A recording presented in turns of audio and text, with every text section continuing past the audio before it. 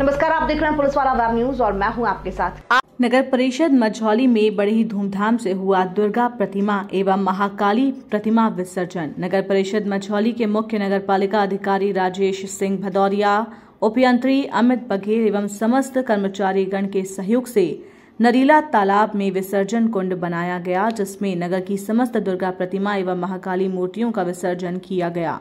दुर्गा प्रतिमा का विसर्जन मझौली से सात किलोमीटर दूर कटाव धाम में भी किए गए। थाना मझौली के द्वारा बैठकी से विजयदशमी तक इस धार्मिक आयोजन में भरपूर सहयोग रहा। प्रतिमा विसर्जन के समय इमरजेंसी वाहनों को निकलने के लिए पुलिस बल का विशेष सहयोग रहा। चल समारोह में मज़बूत पुलिस व्यवस्था की गई, जिससे निर्विघ्न प्रतिमा विसर्जन कार्यक्रम संपन्न हुआ।